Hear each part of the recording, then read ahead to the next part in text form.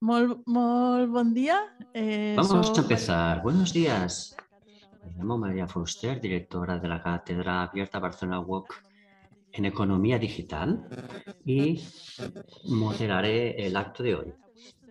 Estamos celebrando el tercer seminario hacia el Congreso de Economía Feminista que se realizará en Barcelona entre el 16 y el 18 de marzo del año que viene. Por eso quisimos organizar estos tres seminarios para calentar motores un poco y movilizar los conocimientos de las ciudades y a los actores relacionados con la economía feminista. Este seminario, el primero fue sobre voces de la economía feminista desde Barcelona, el segundo fue sobre cómo enfrentar la perspectiva digital y este tercero sobre epistemiología y metodologías feministas en diálogo con la investigación y acción y la revolución digital. El vídeo de los dos primeros están colgados en la web. Os doy la bienvenida a todas las compañeras y compañeros que nos acompañáis hoy presencialmente y también a aquellas y aquellos que están online. Primero, quería hacer un anuncio. Pronto se abrirá la- el la- el llamamiento a las contribuciones al Congreso y quería hacer una pequeña introducción a esta, este llamamiento. Este es el equipo que está encargado de la organización.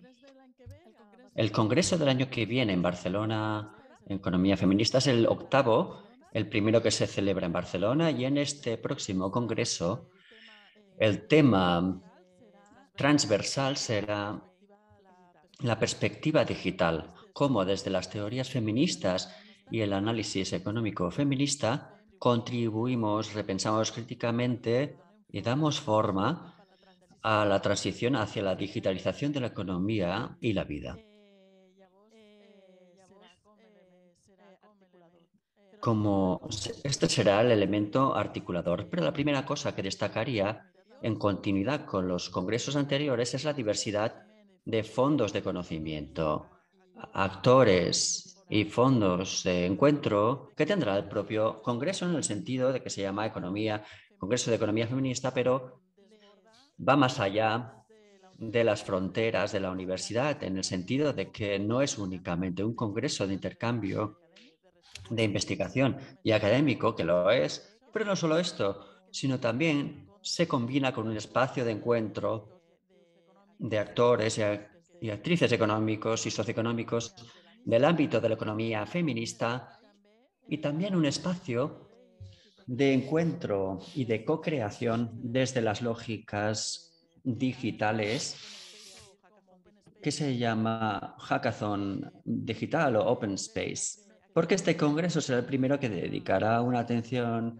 transversal y específica a la dimensión digital, pero no queríamos ah, enfocarlo solo como una temática, sino también que en el propio Congreso experimentemos con nuevas eh, principios organizativos y formas de encuentro que vienen de la cultura digital. Por esto, esta trilogía de intercambio académico, encuentro económico, pero también como espacio de co-creación digital. Respecto a las temáticas, como decía, es congreso transversalmente eh, y animamos a que las distribuciones se, se hagan eh, de esta manera también o intenten am, verlo desde diferentes ámbitos de análisis, pero el Congreso será bottom-up, en el sentido de que ahora hacemos un llamamiento, pero en función de lo que recibamos, terminaremos configurando el programa de una forma o de otra. Habrá unos ejes propuestos eh, de partida que no necesariamente se mantendrán después. Hemos definido estos ejes para organizar las propuestas que hay que enviar. Pero como digo, según lo que recibamos, habrá algunos ejes que se dejarán de lado y aparecerán otros quizá. Como ejes de partida tendremos el de la economía digital feminista, que es un tema transversal, pero que igualmente tendrá un eje propio, o quizá lo tendrá, un eje de macroeconomía en el sentido de los grandes procesos económicos y de la globalización y los grandes ámbitos de políticas laborales. Y toda la crítica al sistema hegemónico capitalista y al análisis económico neoclásico y tradicional. Un segundo eje de microeconomía en referencia a los modelos de organización de las empresas y las unidades de producción y reproducción económica en un sentido muy amplio. Tanto en el ámbito macro y microeconómico, con la perspectiva de abordarlo desde una crítica a los modelos hegemónicos, pero también un análisis de las alternativas o las nuevas propuestas de otra globalización o otro modelo de empresa. E incorporar el análisis feminista de estas nuevas formas que se alinearía mejor quizá con la igualdad de género y los principios de la economía feminista. Un cuarto eje giraría en torno a las curas, que otra vez es muy transversal. Es un elemento muy central que se encuentra en muchos ámbitos, pero está tan presente en la agenda actual que le hemos dedicado un eje propio. El de políticas eh, públicas también históricamente ha sido muy presente en el Congreso a través del análisis de los presupuestos participativos, pero también nuevas temáticas emergentes como las políticas de fiscalidad y todo lo que se está haciendo y el análisis de lo que se está haciendo desde un punto de vista de la política económica, pero también del diseño de las instituciones políticas, con un sentido amplio. Un sexto eje que es nuevo, que no había estado presente anteriormente, pero que sí que creemos que en este Congreso, históricamente, ha dado voz a voces muy plurales, tanto las que vienen del mundo de la investigación, pero también a cooperativas o a colectivos o otros fuentes de conocimiento que vienen de la propia práctica, la sistematización de experiencias. Entonces queríamos eh, enfocar este elemento de manera específica, las epistemologías y metodologías que caracterizarían el análisis feminista. Y precisamente este será la temática del seminario de hoy, para abrir boca sobre el tema y animar a que haya contribuciones para debatir y para hacer eh, más explícito lo que caracterizaría como las metodologías y la epistemologías feministas y también las posibles tensiones que pueden surgir, como el vínculo entre el mundo de la investigación y el mundo de alternativas económicas y tratarlas. Y por último, una sección dedicada a otros, en el sentido de que si no os sentís cómodas con cualquiera de estos ejes, pues se puede proponer eh, otros. Como digo, el llamamiento a las contribuciones tiene previstas una serie de vías de participación. El programa tendrá las partes plenarias con la sesión inaugural, una charla inaugural que seguramente estas sesiones plenarias se dedicarán más a la perspectiva digital. Y el último día, la última jornada, siempre hay una asamblea con la presentación de las conclusiones de los ejes y una declaración final que reúne los debates que, y las aportaciones de cada uno de estos ejes. Estamos considerando utilizar la plataforma de para hacer esta declaración final y eh, será esta una vía de contribución porque la haremos entre todas las que participamos en el Congreso y reflejará lo que ha sucedido en el Congreso. La segunda vía serán sesiones de presentación de comunicaciones orales o escritas a, modo de panel con tres o cuatro presentaciones sobre un tema concreto con una lógica de investigación, de metodología, objetivos, resultados, con esta este formato flexible, pero con esta lógica detrás. Se pueden enviar comunicaciones orales con un abstract o con un texto o un artículo que se pondrá a disposición a través de la web con licencia Creative Commons y con la opción de que quien quiera, pues los artículos escritos los puedan enviar a un número especial de una revista con impacto. Y esto será un segundo elemento. Haces una propuesta al Congreso de comunicación escrita y luego, si quieres, participas en este número especial. Otra vía de propuestas es el tema de los pósters, con pósters físicos en los que la persona tiene la oportunidad de interactuar ah, o presentar, interactuar. Luego hay la posibilidad de proponer talleres, debates o cualquier otra actividad, presentación de libros, o si tenéis algún proyecto de investigación europeo y queréis hacer una sesión de co-creación, pues un DAFO sobre una temática y puede ser interesante en el marco del Congreso. Este es un formato más flexible o diverso que el del panel de presentaciones y por lo tanto está abierto a las propuestas que vayan llegando. También habrá una plaza de expositores, es decir, un espacio en el que las cooperativas o colectivos podrán poner a disposición del público pues, folletos o material para exponer la actividad económica que ofrecen. Será como una plaza, como un punto, una especie de feria de exposiciones. En, los últimos dos vienen más de la voluntad de incorporar formas de encontrarse que vienen de la cultura digital. Por eso, una de las salas se dedicará a un eje y todo pasará en el mismo espacio, pero una de las salas será metodología de espacio abierto, open space, que no define el programa de antemano, es decir, no hay un llamamiento, sino que durante los días del Congreso, según los temas que vayan generando interés o las oportunidades que vayan saliendo del Congreso, pues definirán la agenda del encuentro y una metodología pues más autogestionada del programa in situ durante el Congreso. También habrá una sesión, una datazón que es como un encuentro de datos para reflexionar sobre el impacto de la igualdad de género de los procesos de digitalización.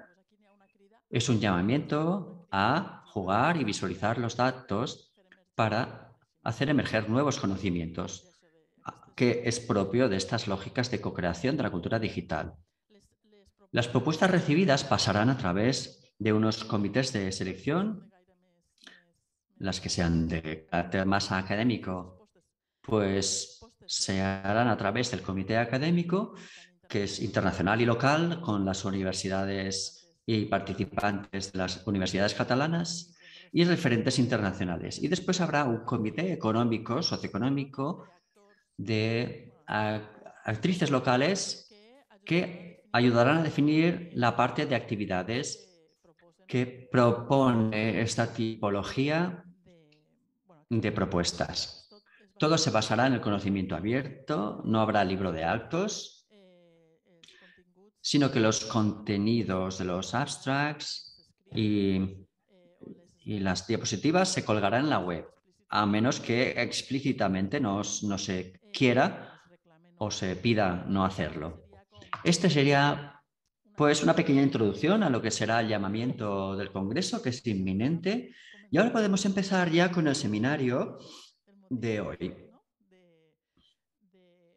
de epistemologías y metodologías feministas, en diálogo con la investigación-acción y la revolución digital, que queremos animaros a empezar de cara al Congreso.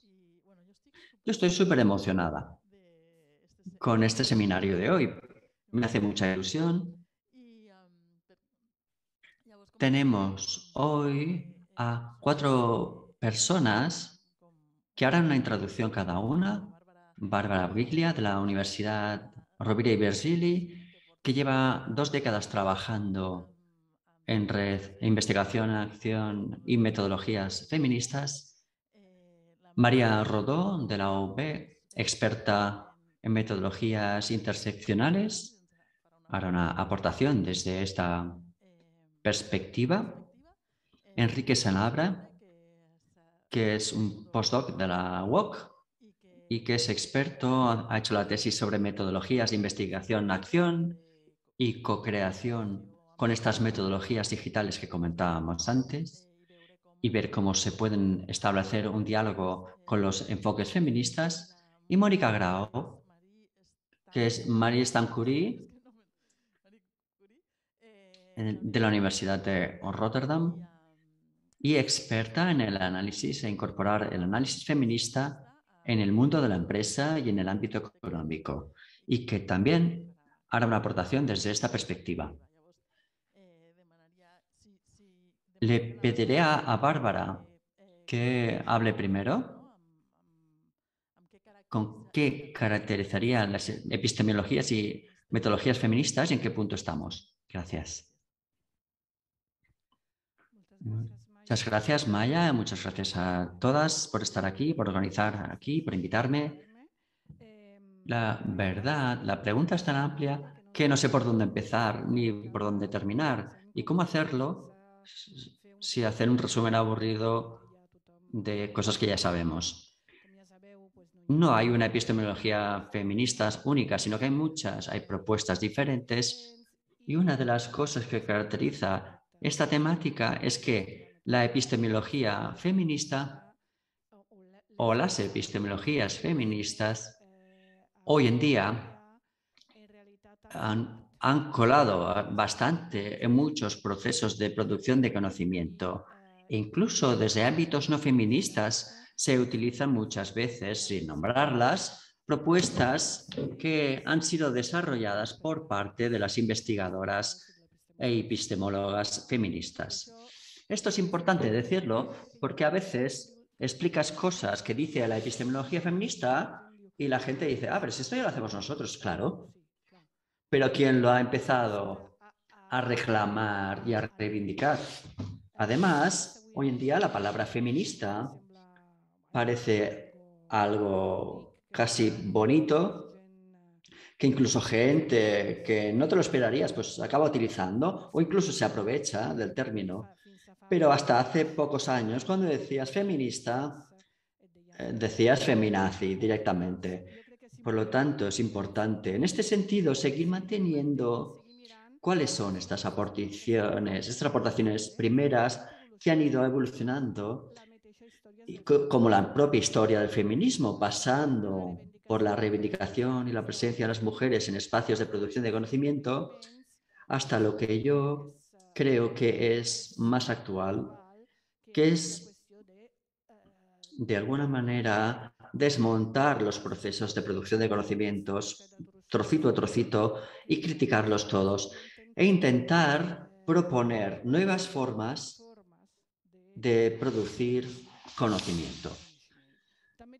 Sin embargo, una de las dificultades graves que tenemos en este proceso, por un lado, es que cuando aterrizamos en estas ideas de lo teórico, porque la epistemología es algo más bien filosófico, y luego cuando te encuentras eh, que tienes que aterrizar en tu proceso de investigación metodológicamente, no es tan fácil. La gente piensa que lo que se propone es reinventar completamente técnicas de co-construcción de conocimiento y no se trata de esto. Obviamente puede haber propuestas nuevas, siempre estamos abiertas, pero muchas veces seguimos utilizando las entrevistas, los grupos de discusión, los debates, las encuestas, las técnicas clásicas. El discurso es cómo utilizamos estas técnicas y sobre todo, algunas de las aportaciones que para mí es más importante es dar importancia a todo el proceso. Que no solo es el análisis de los resultados, sino cómo hemos pensado, qué íbamos a identificar, la problemática se tiene que estudiar, según qué criterio, qué mirada tenías a la hora de definirla. Y después, obviamente, todo esto se pasa a cómo vamos construyendo los instrumentos, cómo nos acercamos a las realidades que queremos interpretar, porque no estamos conociendo, sino interpretando. Y esto es otra de las cosas que tenemos que tener en cuenta. No podemos conocer una realidad, realidad como es porque en el momento en que la miramos, nuestros ojos la interpretan. Y esto de la crítica a la objetividad y la ciencia es algo que ya lleva muchos años y que paradójicamente en algunas de las ciencias más duras ya está más asumido. En cambio, en las ciencias más sociales todavía callamos o todavía caemos en ello. Y es como se entiende la subjetividad como manipulación. Una cosa es manipular los datos y la interpretación y otra cosa es utilizar tus filtros para conocer que es imposible no hacerlo. Obviamente hay estrategias como la difracción que nos permiten hacer que las interpretadoras sean múltiples y a través de esta multiplicidad obviamente podemos producir un acercamiento más rico a lo que son las realidades que nos envuelven. Obviamente hay que superar el escollo de que a pesar de tener esta multiplicidad de intérpretes, pues algunos tienen más poder que otras. María seguramente entrará más en el tema de la interseccionalidad, así que no voy a entrar yo.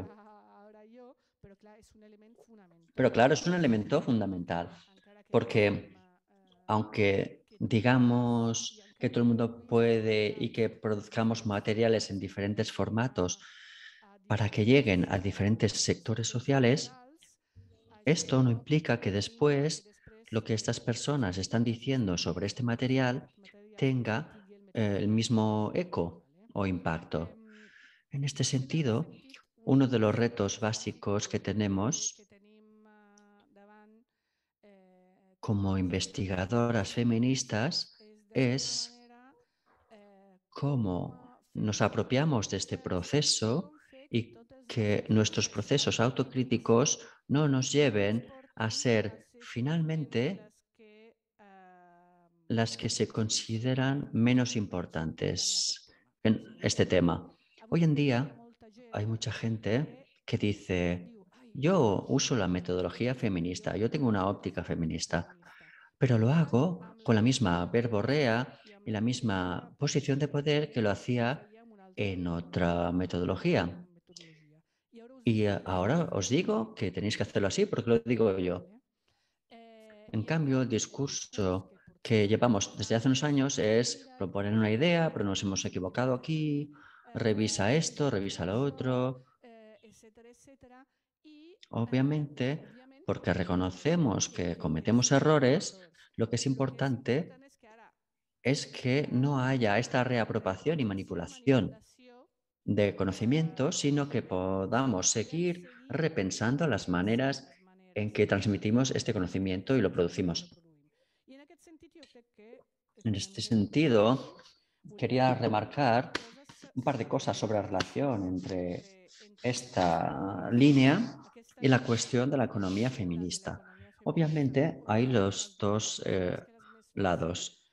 Una que es cómo investigamos como economía feminista y de qué forma se pueden incorporar las aportaciones de la epistemología y la metodología feminista para investigar. Esta es la más fácil. Pero también para mí es muy importante entender cómo el mismo proceso de producción de conocimiento es un proceso bien económico. Por un lado, porque obviamente quien puede investigar tiene que tener un salario o unas condiciones para hacerlo y quien da el dinero es quien marca lo que se está investigando, etc. Y este es un elemento clave, eh, importante y que hay que analizar. También lo que producimos, entre muchas comillas, los outputs o outcomes de nuestras investigaciones, también entran en un sistema de producción de conocimiento económico, perdón. Y esto es una parte que se tiene que analizar. Y por otro lado, tenemos la cuestión de cómo entra todo este proceso de investigación en nuestra propia economía vital.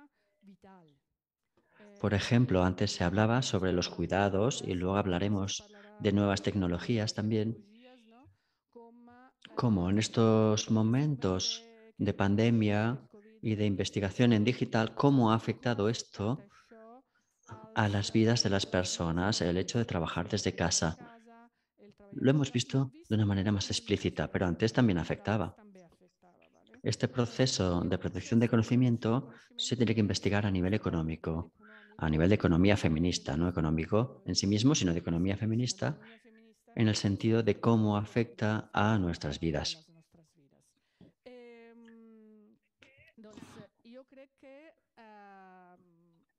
Me quedan 15 segundos, o sea que os lo regalo. Y seguiremos debatiendo porque tengo muchas cosas que aprender de las demás. Así seguimos eh, debatiendo. Muchas gracias, Bárbara. Y María, si nos puedes incorporar tu vertiente de la metodología interseccional.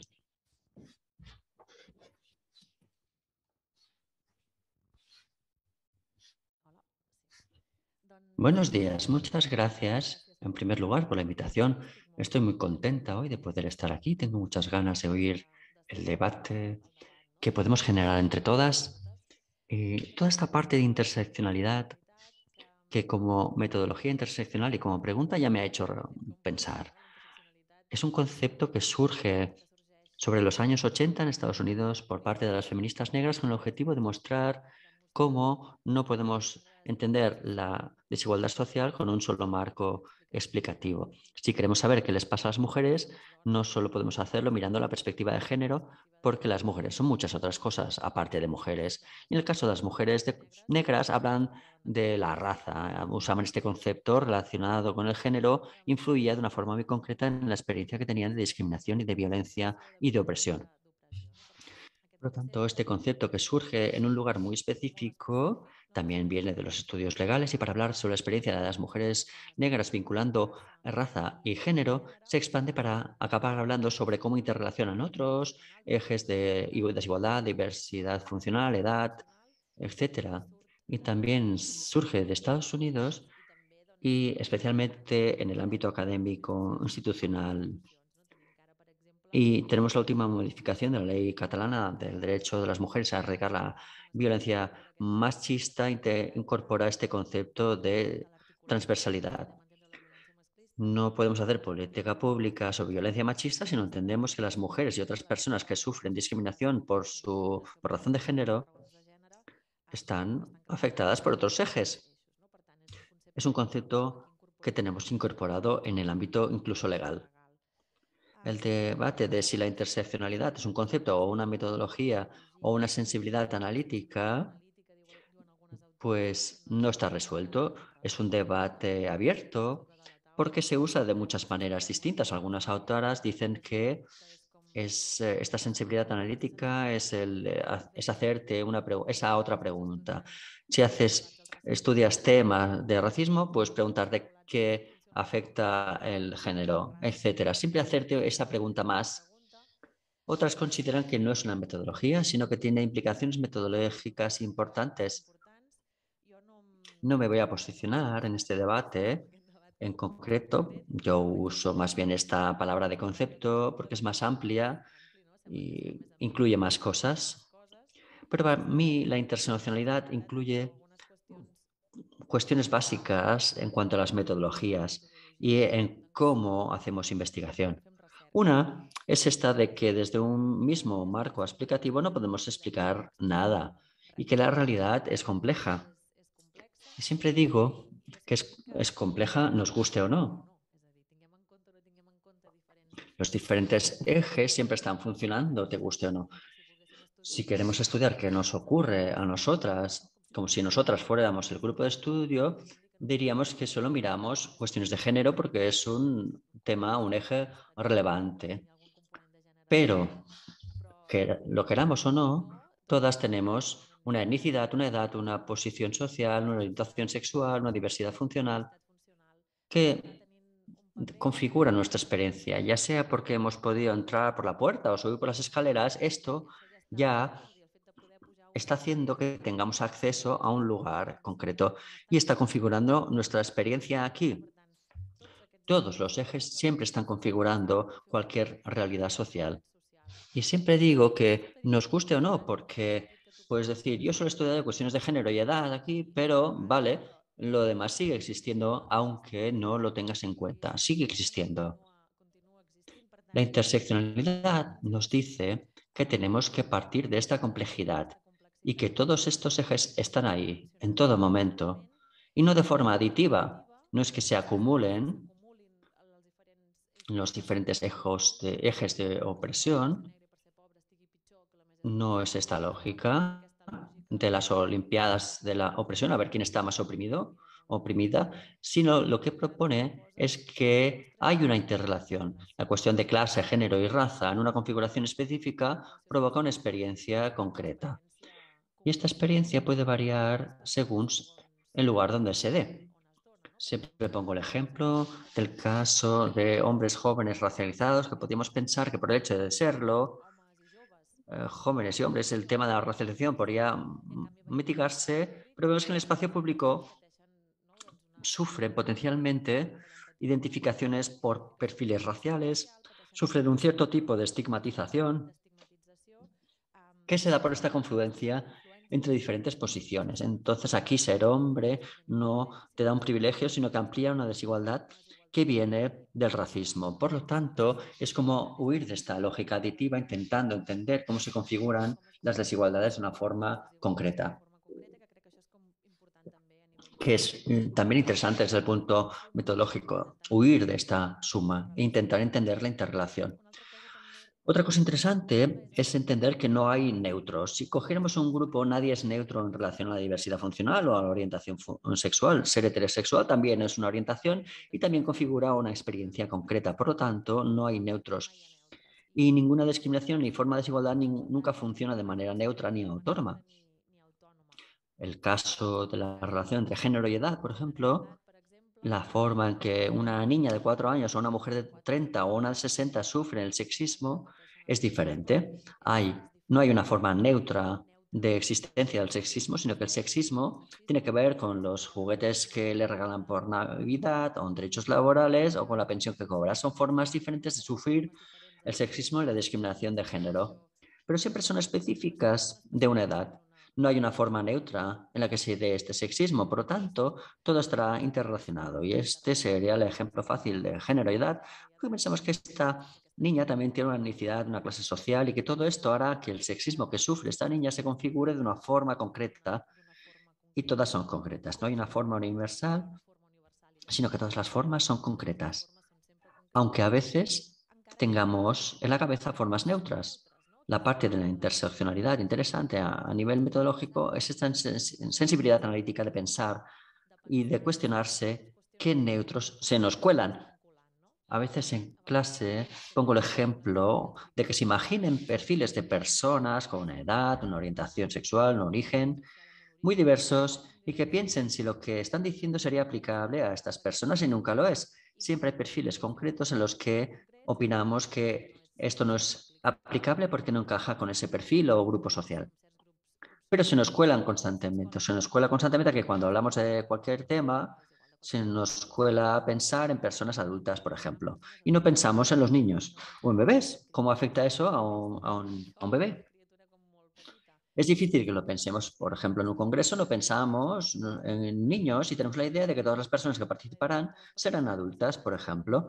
Por lo tanto, aquí se nos estaba colando un falso neutro, que es esta, el hecho de ser adulto, pasa con el género, pasa con el origen, o, por ejemplo, cuando presupones que todo el mundo entiende un idioma o que todo el mundo oye. Se nos cuelan estos neutros y la interseccionalidad nos ayuda a pensar eh, sin fustigarnos. Se nos cuelan neutros a todos y lo que tenemos que hacer es este ejercicio constante de irlo repensando sin fustigarse necesariamente, porque esto tampoco lleva a nada.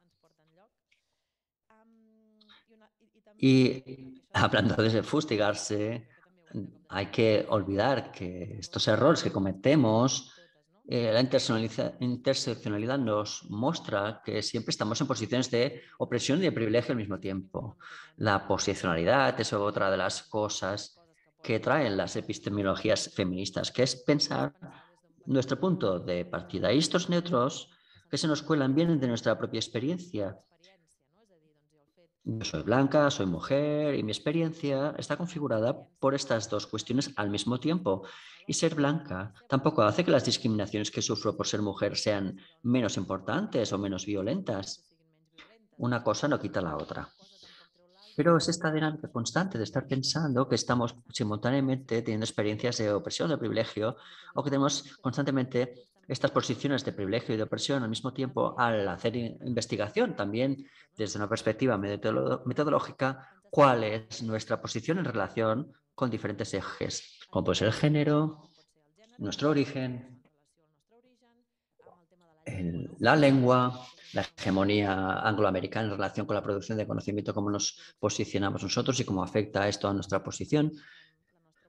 Y para terminar, porque me quedan dos, 22 segundos, los retos, que era una de las partes que salían. Lo resumiré. Uno de los retos para mí es intentar entender que los ejes no, compiten entre sí. La lógica no es una competición, a ver cuál es más importante. Será más importante uno u otro según el contexto que estudiemos. Y también dejar la puerta abierta a que surjan nuevos ejes, que siempre podamos incorporar nuevos ejes al análisis. Y esto no los hace menos importantes los otros sino que los enriquecen. Muchas gracias.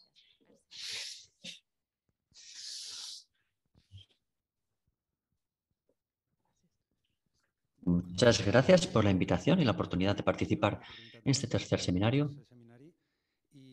Lo haré básicamente centrándome en dos temas que considero interesante conectar y que se basan en mi experiencia, trabajando en metodologías de co-creación o de diseño participativo. Y al mismo tiempo, por alusiones, con toda la, toda la disrupción de las nuevas tecnologías, me gustaría levantar una lanza por las viejas tecnologías y que no se confunda, que no nos confundan las oportunidades digitales porque creo que creo que hay que hacer mucha autocrítica con las herramientas en especial.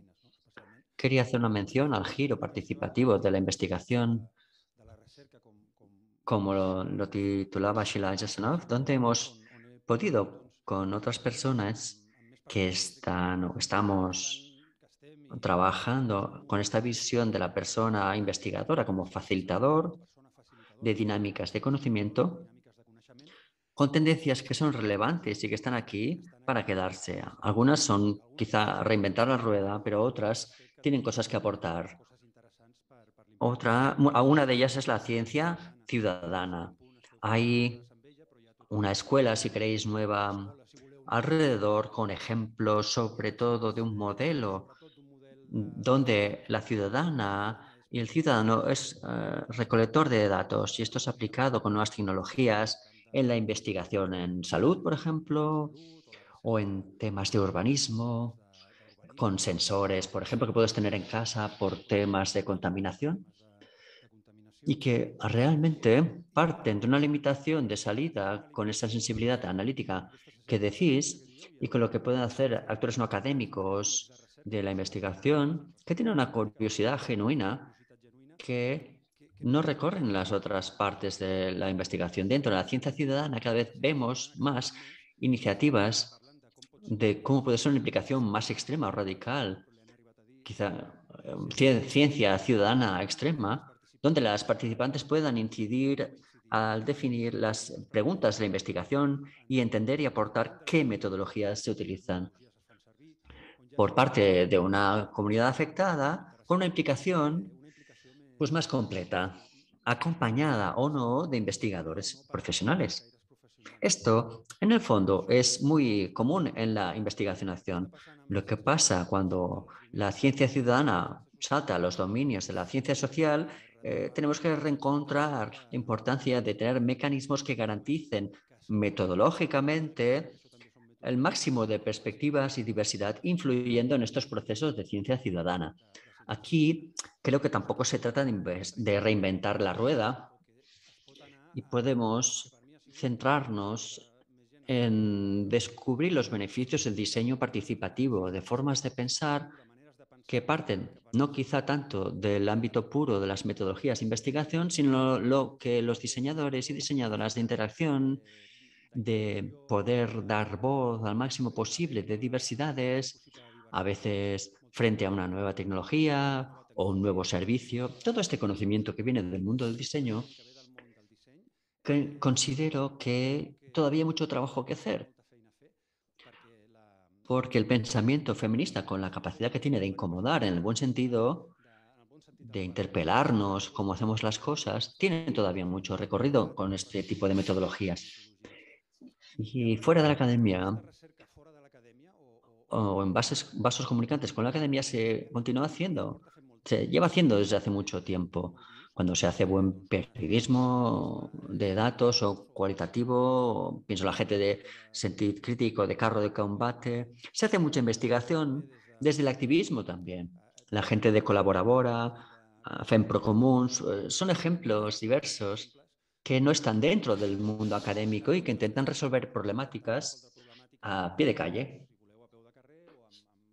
con las comunidades, también desde la economía social y solidaria, con PAM a PAM, por ejemplo, la investigación, más allá de los límites académicos, creo que está experimentando un buen momento. Pero no podemos conformarnos y hace falta mucha autorreflexión sobre qué metodologías permiten esta diversidad de puntos de vista. Esto se puede poner con ejemplos que he vivido yo. Imaginemos que vamos a hacer una investigación, pues imaginemos puntos de partida donde cada uno se posicione, se visibilice para ver si veremos con una perspectiva feminista, creativa, artística. No los quiero poner al mismo nivel, pero cosas que más allá de lo cuantitativo o cualitativo, que simplifican demasiado el discurso. Una cosa que tiene el pensamiento de diseño, para, ir para resumir, es generar momentos de divergencia, donde el máximo de ideas y preguntas e investigación, de metodologías, se pongan sobre la mesa. Y luego momentos de convergencia, donde se toman decisiones comunes. Vamos a, a esta pregunta de investigación. ¿Qué herramienta escogeremos para recoger datos? Para estos momentos decisivos, pues tienen mecanismos demasiado simples, con rondas rápidas de decisión y a veces se pierde esta mirada interseccional y no se está a, los detalles de cómo llegar a buen puerto dando voz a las vulnerabilidades, relaciones de poder y la procedencia. Esta figura de investigador como facilitador creo que tiene el papel añadido que, que aunque hay que hacer buena investigación, añade más complejidad metodológica. Y ahí es donde me encuentro con la necesidad de incomodar o cómo aprender a utilizar técnicas concretas, cosas que son metodológicas para dar voz. En cuanto a autocrítica y la autorreflexión,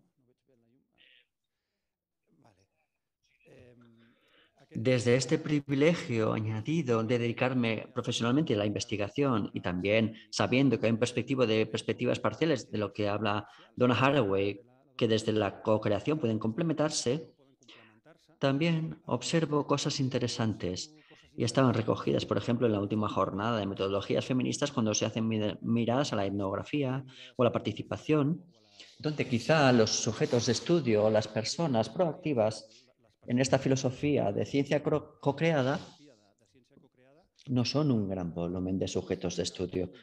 No hablamos de las ciencias sociales o la EMA típica de ciencias sociales, que son variables muy acotadas para poder afinar cuantitativamente con un análisis. Y luego el factor tiempo, que es la T del tiempo que hace falta para llegar a buen puerto en investigación.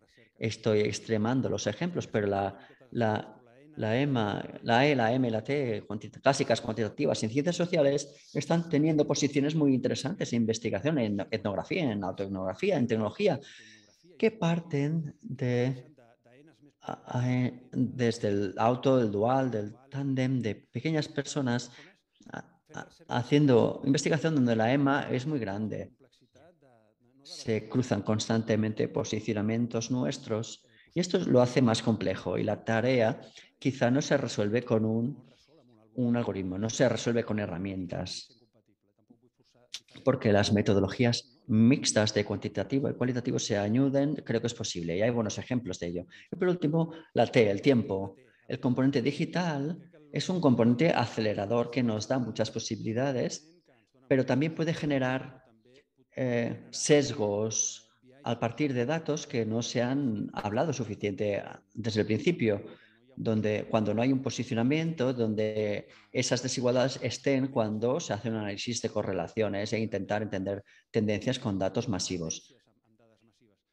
Creo lo que están haciendo investigadores que trabajan mucho con la admisión de nuevas tecnologías, con estos gadgets que están cada vez más cerca del cuerpo. ¿Cómo experimentamos esta invasión o incorporación progresiva de tecnología en nuestros cuerpos y en nuestras vidas?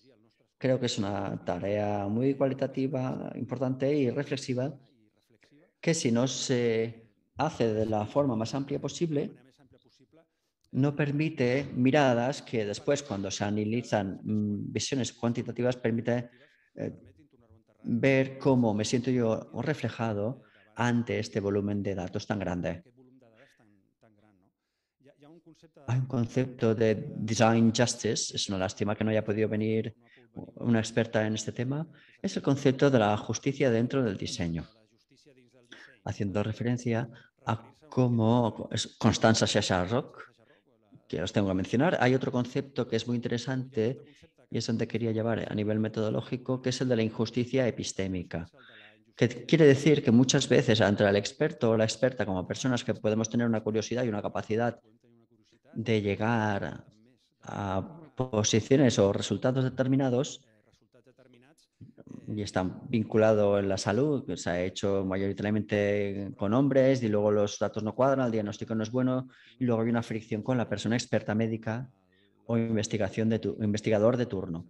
Creo que tenemos que volver a la justicia epistémica haciendo este esfuerzo de qué metodologías pueden ofrecer voz mejor al primer punto de contacto con la realidad, que son los datos personales y cualitativos y el conocimiento personal. Y aquí lo dejo. Muchas gracias, Enrique. Sasha Constanza, yo tenía que venir hoy, pero tiene COVID y no ha podido volar desde Estados Unidos, pero igualmente contaremos con ella para el Congreso. Hoy no ha podido venir, pero sí que estará el año que viene. Bueno, pues eh, muchas gracias. Eh, yo estoy, la verdad es que estoy muy emocionada de formar parte de, de, de, la organización del Congreso, del próximo Congreso de Economía Feminista y de compartir este espacio con gente que, que admiro y aprendo cuando os escucho. Y la pregunta que, bueno, que hablase de los marcos eh, feministas eh, para la economía, ¿no? Y entonces eh, esta pregunta enseguida, pues eh, saca mi, mi, síndrome de la impostora de decir, pero ¿cómo voy a hablar eh, de esto si yo mmm, tampoco soy experta en, en, eh, epistemología? A pesar de que mi doctorado es en una facultad de filosofía, pero no me considero filósofa.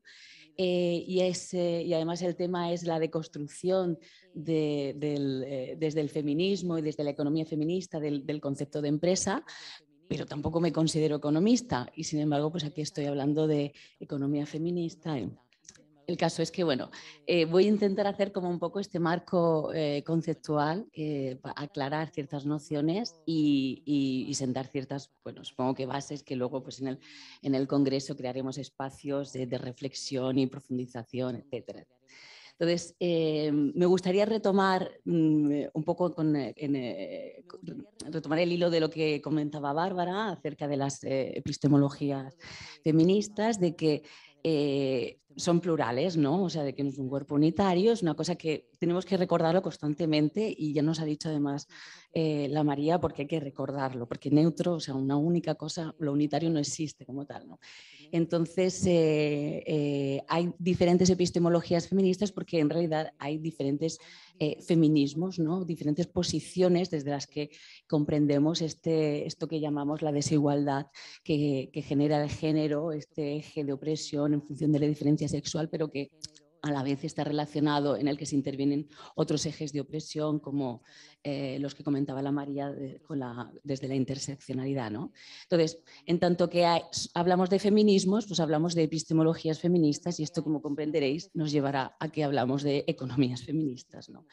Entonces, eh, sí que es verdad que eh, el eje común que articula, o sea, lo que eh, va a unir a estas, eh, esto que llamamos epistemologías feministas, es entender que el género es un organizador, eh, de la, es, una categoría fundamental de la organización social ¿no? y, que, y que está interviniendo de, de alguna manera ahí y, por lo tanto pues luego cuestionarnos qué es el conocimiento, o sea, qué es lo que se conoce, qué es lo que llamamos que es conocimiento, además quién está, tiene la autoridad, la autoridad epistémica ¿no? para, para conocer, para generar conocimiento, eh, cuáles son los métodos que, se utilizan, etc. Sí que, si bien eh, estas preguntas eh, acerca de, cuestionarnos el conocimiento, que se lo va a hacer también la economía feminista, pues hay unos marcos también compartidos, que es un poco cuestionar estos ideales eh, o marcos interpretativos como son de la objetividad, la universalidad, la, eh, abstracción, eh, el, intentar llegar a algo que es aplicable a todos. ¿no? Y como la María ha dicho muy bien, pues es muy difícil ¿no? intentar unificar aquello que ya es per se complejo. ¿no? Entonces, em, todo esto, eh, que son diferentes posicionamientos, diferentes maneras de, entender eh, eh, el feminismo, va a hacer que cuando lo llevamos al campo de la economía feminista, aflora y por lo tanto esas divergencias van a, van a, se van a, se van a, visibilizar. ¿no? Es lo que, por eso Carrasco eh, hablaba de, que la economía feminista en realidad es un abanico de posicionamientos, de posicionamientos feministas sobre lo económico. ¿no? Por lo tanto, vamos a tener estas dos variables, ¿no? lo feminista con lo económico. ¿no? Pero igual que en la epistemología feminista, eh, el elemento en común que existe en estos diferentes posicionamientos feministas sobre lo económico es que el género es una categoría fundamental eh, para entender cómo se ha configurado lo económico. Y hablo de lo económico en su sentido ontológico, ¿no? en la reflexión teórica de eh, a qué se refiere aquello que pensamos por lo económico. ¿no? Eh, entonces, este sí que es, este, este es el elemento fundamental que nos, que nos une y sobre todo también que nos creo que, que, bueno, que no sobra solo con comprenderlo, sino que eh, hace, hace, falta hacer propuestas y hace falta, eh, va ligado un poco con la acción, ¿no? con, el, con, el, posicionamiento político, de que no, no solo es suficiente comprenderlo, sino que hay que hacer algo.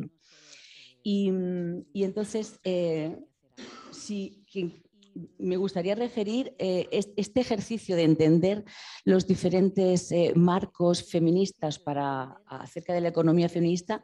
Eh, yo lo he tomado, como he tomado como referencia en la tesis de Amaya, que la tesis doctoral de Amaya precisamente iba de, iba de esto. Luego lo ha seguido elaborando, pero hace una analogía eh, muy clara entre diferentes epistemologías feministas y la implicación que tienen diferentes posicionamientos de la economía feminista. Y otra vez, por, no, eh, por poner en común, subrayar lo que tienen en común eh, los diferentes posicionamientos de la economía feminista, es que planteándose en qué en qué consiste esto de lo económico, están ampliando el concepto de economía. ¿no? Eh, y al ampliar el concepto de economía, pues surgen eh, nuevos marcos analíticos o se, eh, se, deconstruyen unos que están utilizándose para darles otros significados. ¿no? Y yo creo que fundamentalmente tenemos tres que son como muy claros, evidentes, que es no solamente el concepto de, economía como que es mucho más sacarlo más de, los mercados, ¿no? Es mucho más que los mercados y que no todo pasa por lo monitoriza, eh, monitorizado. Eh, luego también el concepto de trabajo, a qué nos referimos con trabajo, ¿no? Y ampliar todo el circuito de trabajo, haciendo visible todo el trabajo invisible que ya sabemos, este diagrama del iceberg donde aparece la cantidad de, o sea, en el mercado está arriba, pero abajo hay una cantidad de actividades invisibilizadas, no remuneradas, etcétera, que son gracias a lo que eh, se puede sostener lo de arriba. Y, luego también el concepto de el, cuidado, que significan el cuidado, los cuidados, los trabajos de cuidado, ¿no? Eh, como todos aquellos también trabajos que eh, la mayoría de las veces pues, no están visibilizados y, que son fundamentales pues, para mantener la vida. Y aquí estos tres conceptos que van a poder eh, articular diferentes posicionamientos y que pueden ser más o menos radicales, pues desde una desde un eh, economía del género que, que, se utiliza para eh, subrayar aquellas aportaciones que se han preocupado sin cuestionar eh, realmente el paradigma androcéntrico dominante, se han preocupado más por mostrar la participación, por buscar esto de la equidad, ¿no? de que eh, estemos representadas las mujeres en cuanto a como productoras, pero en toda la cadena de valor, en el sistema económico, etcétera, eh, que, puede ser importante, pero que no cuestiona el paradigma y que no lo va a dejar intacto.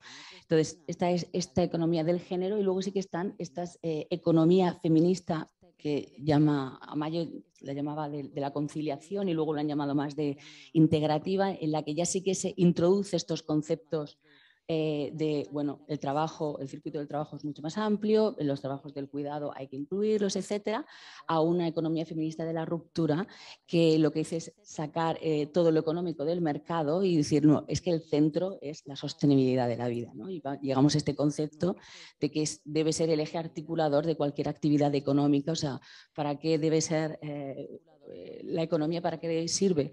Pues para que mantener la vida de las personas y además una vida digna de ser vivida. ¿no? Eh, por lo tanto, vemos ahí como hay eh, diferentes eh, posicionamientos y para concluir, me gustaría decir que, bueno, que todo esta, en realidad la economía o, las posiciones feministas sobre lo económico eh, es relativamente reciente y por lo tanto es, algo que está eh, en creación y que, por, y, que tiene muchísimo sentido que esté constantemente en diálogo y en reflexión y discutiendo y demás. Pero es que a todo esto eh, se, nos ha, se nos ha dejado y nos hemos dado cuenta en los últimos años que se nos había dejado, nos habíamos dejado apartado todo el aspecto digital que es eh, también está en la agenda de este próximo congreso, ¿no? ¿Qué pasa? O sea, si hay, si, si eh, las posiciones feministas de lo económico ya era complejo, pues de en lo digital todavía más, porque lo digital es todavía también muy complejo, muy amplio, ¿no? Em, pero nos, hemos dado cuenta que, efectivamente eh, pues, no, no solamente es que no haya eh, unas líneas claras, sino que es que, bueno, mm, pues son bastante incompletas, ¿no? Me gustaría, o, hay mucho por hacer en cuanto a, cuál es el posicionamiento feminista eh, respecto a, la economía digital. Y, ya está, mi tiempo se ha acabado y muchas gracias. Muchas gracias a todas las eh, Muchas gracias por vuestras intervenciones. Creo que han sido todas muy enriquecedoras. Ahora me gustaría que hiciéramos una reflexión entre todas sobre lo que sería precisamente eh, lo que aportaba Mónica, sobre cómo existe un nuevo elemento, que es la cuestión de la digitalización. Estamos en una gran transición de modelo económico uno de los aspectos es tener las fábricas como referente productivo desde una lógica de economía neoclásica hegemónica a las plataformas digitales. Y esto tiene un impacto en toda la vida.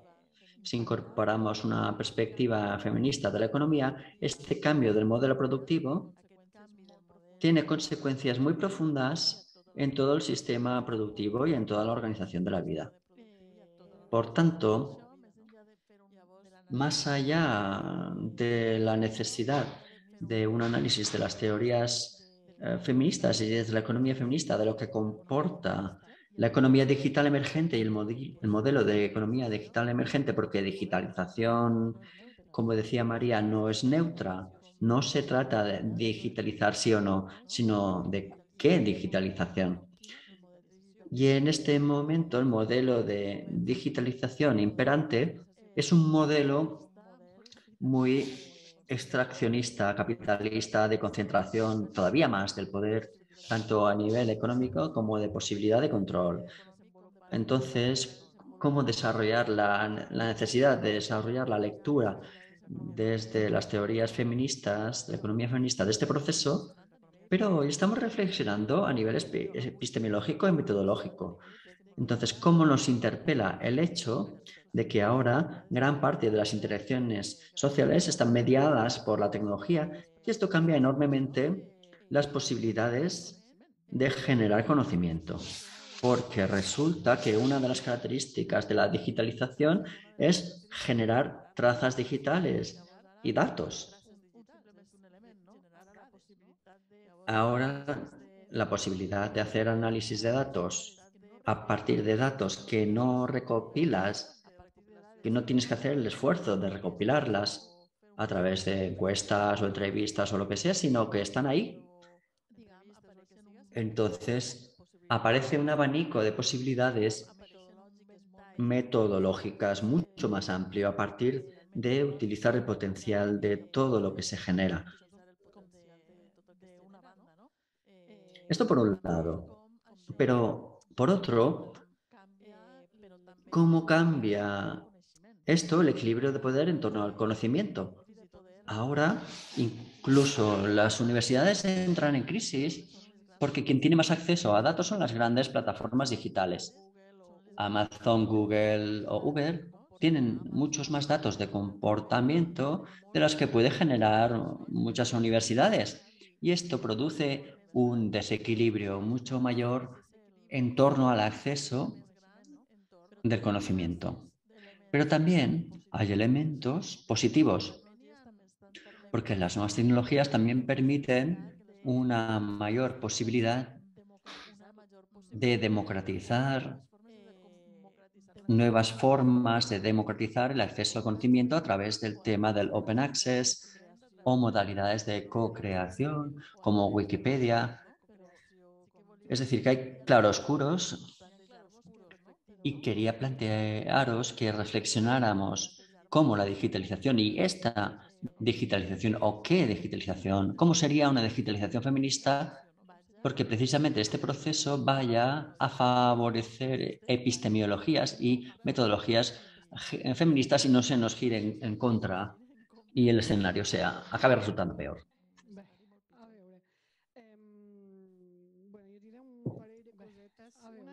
Bueno, un par de cosas.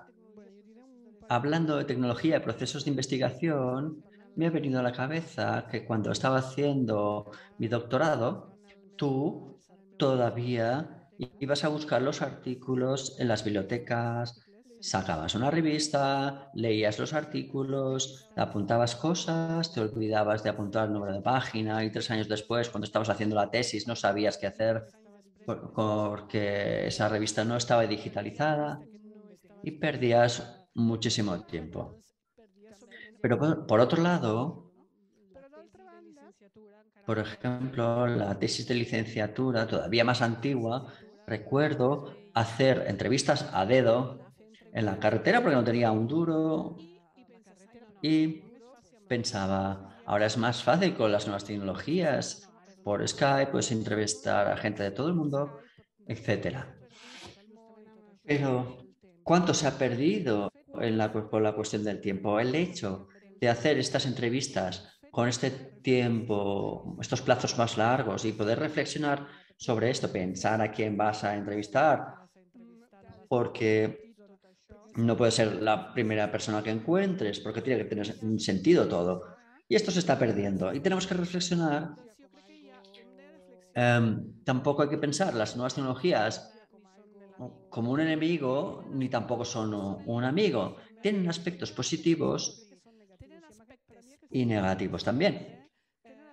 Para mí esta cuestión del tiempo en la investigación es un tema muy importante porque comentabas antes que realmente esta precipitación en la producción de conocimiento nos lleva también a algo que antes comentabas eh, del Big Data Y a mí la pregunta que me viene a la cabeza es si estamos conociendo o estamos sabiendo. Tenemos datos, pero realmente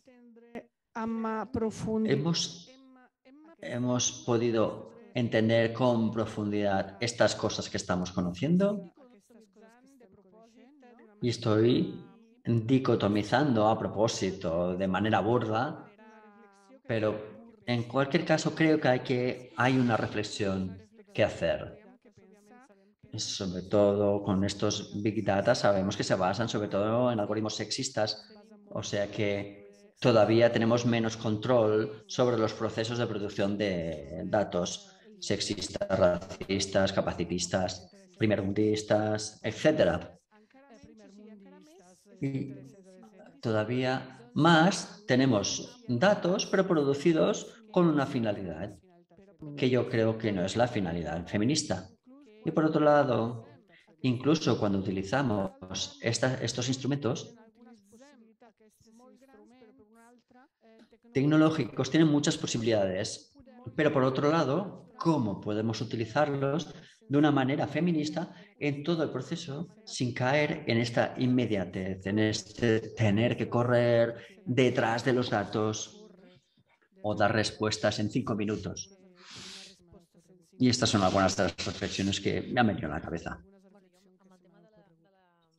Con el tema de la digitalización siempre he sido reticente porque vengo de metodologías más cualitativas y la metodología que, que desarrollé, eh, Relief Maps, es una cosa que yo hacía a mano, con tablas y lápices de colores. Había un proceso casi terapéutico en el proceso de investigación eh, sobre la misma experiencia interseccional, pues subrayando, utilizando colores diferentes. Es un rollo, lo siento, pero es un rollo de gestionar como material de investigación, como datos, coger todas estas cosas que la gente escribe hay gente que es muy pulida y gente que no tanto. Entonces, cuando tienes que gestionar o compartir esto con otras personas o lo tienes que consultar al cabo de dos años, eh, tiene pues sus problemas. Justamente cuando estaba en la WOC, hicimos una web que era el mismo modelo metodológico sobre internacionalizar desarrollo en papel, pero en formato web. Y he ido viendo el potencial que tiene la digitalización de algunas herramientas a la hora de recoger datos. Y justamente ahora, con un proceso que empezará en septiembre, la idea es ir un poco más allá en la digitalización, utilizando técnicas o sistemas de información geográfica. Es decir, usando coordenadas para ver qué pasa en un sitio o en otro. Y me he tenido que sumerger en todos estos debates. Y un poco lo que veo es que al usar datos eh, geográficos con los datos de GPS y la relación en las geografías feministas son dos mundos. Hay cuatro artículos, hay gente que vincula ambos mundos, pero hay una crítica enorme desde los feminismos y la geografía crítica a utilizar todos estos datos como puede ser las coordenadas, que hay muy, muy pocos vínculos o puentes. Y tiene sentido porque han sido formas tradicionales de control se utilizaban sobre todo para temas militares, es una cosa que viene el tema militar, pues eh, huyes de ello directamente y han servido para controlar a los ciudadanos, pero creo que tenemos que podernos apropiar de estas herramientas, tanto en el mundo digital como estas herramientas que se han usado en nuestra contra, tenemos que podernoslas apropiar. Y para mí eso significa transformarlas y usarlas para tus propios objetivos con una mirada feminista para visualizar desigualdades y, por tanto, aquí pueden ser útiles para hacernos determinadas preguntas. Por ejemplo, que, que las preguntas nos hagamos sean feministas. ¿Por qué queremos visualizarlo esto en un mapa? Pues esto tiene que partir de una pregunta feminista. La forma de recoger los datos puede ser participativa, contra cartografías y la cartografía crítica como puerta una mirada concreta sobre cómo se recogen los datos y cómo se analizan y cómo se visualizan y que podamos visualizar también otras cosas que no ha estado nunca presente en este mundo de la geolocalización y la digitalización de las herramientas tecnológicas para la investigación, como pueden ser las emociones. Eh, por ejemplo, al hablar sobre desigualdades. Estos conceptos más cualitativos, cómo los podemos integrar en estas herramientas que también tienen que ser abiertas. Y aquí hay detrás pues también una política vinculada a la política academia, de qué son las herramientas, si son abiertas, si no son gratuitas, quién las puede usar, dónde se accede o no. Y eso tiene un potencial muy grande. Y esto lo he visto en la web, con la web, es que hay un intercambio a nivel internacional. Cualquier persona puede acceder a la web y usarla. Por ejemplo, en Brasil la han usado para hacer la tesis doctoral y esto facilita intercambios que de otra forma no serían posibles. Yo vengo de un mundo más reticente a, esta, a este tipo de cosas y es esta frase de que el, las herramientas del amo no nos pueden hacer desmontar la casa del amo, pero sí que nos permiten entender mejor la casa del amo. Yo como investigadora me sitúo más en esta parte de cómo las herramientas nos permiten entender mejor cómo funciona la casa, que es este mi objetivo, visibilizar determinadas formas de desigualdades y dinámicas interseccionales de la desigualdad. Y creo que estas herramientas pueden ser útiles a pesar de que hay mil temas de protección de datos, temas éticos, una serie de complicaciones asociadas. Pero creo que si no nos ponemos nosotras a ello, pues se usarán en nuestra contra siempre y por lo tanto hay espacio, hay espacio para que nos apropiemos nosotros también de ellas.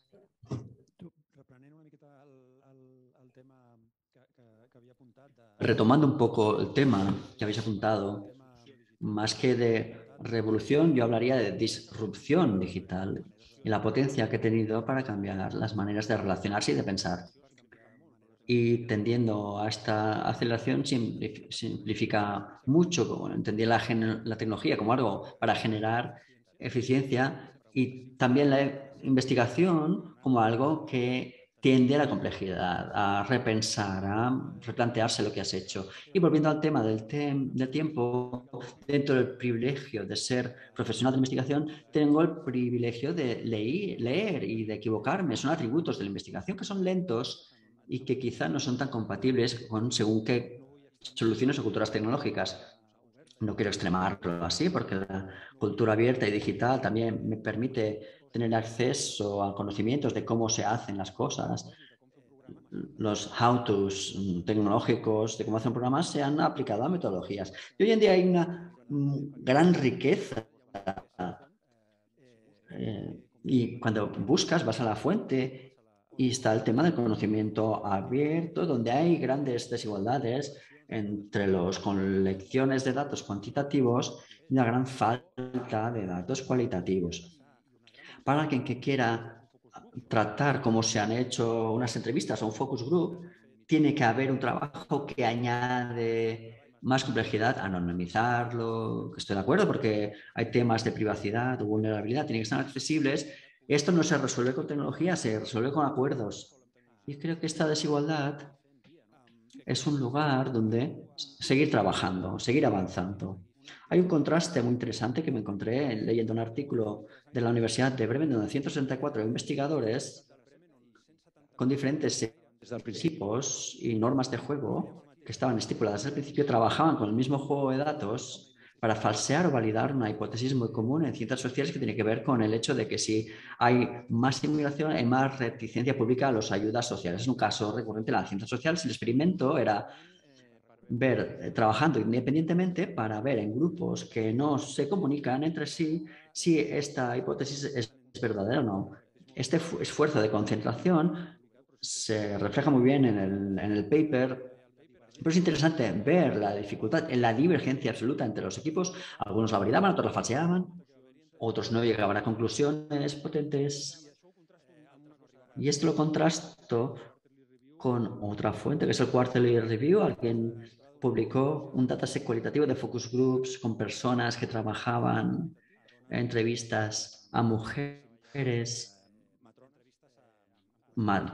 matronas con conocimientos adicionales en Nigeria. Y esto estaba en un dataset de transcripciones de estos focus groups.